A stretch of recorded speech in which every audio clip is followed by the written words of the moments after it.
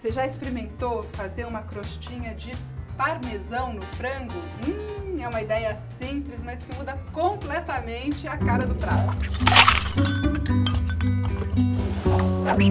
E olha, para fazer essa crosta não vai precisar nem de farinha. A gente vai usar um ovo, deixa eu já quebrar aqui e você quebra aí.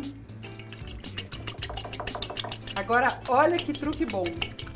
Em vez de a gente temperar o frango, a gente vai temperar o ovo. Vou colocar aqui uma pitada de páprica, que tem o equivalente a meia colher de chá.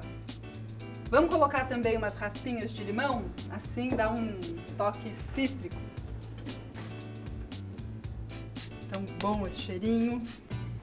Agora é o seguinte, como o parmesão já é bem salgadinho, a gente não precisa temperar o frango com sal, mas eu vou colocar um pouquinho de sal no ovo.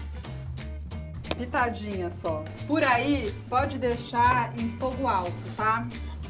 Esse processo, ele é quase igual um empanado tradicional, só que a gente vai fazer de um lado só do frango, porque senão, eu pessoalmente acho que fica um pouco enjoativo a gente empanar os dois lados com o queijo parmesão.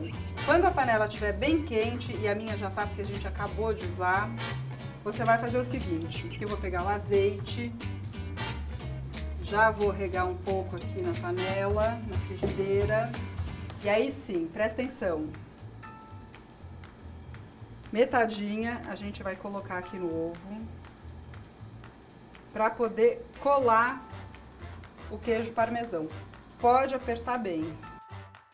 Mesmo usando uma frigideira antiaderente, como a que eu estou usando, é importante colocar um pouquinho do azeite, tá?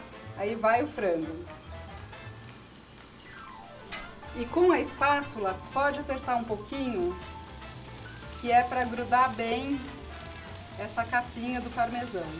Precisa de uns dois ou três minutos para dourar bem.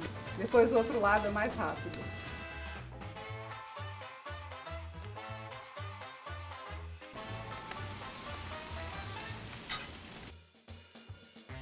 Deu o tempo, eu vou virar aqui o franguinho.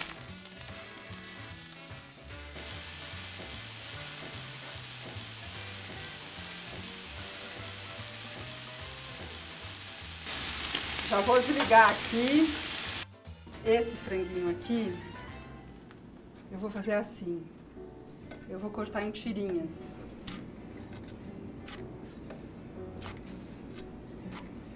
Você tem noção disso aqui?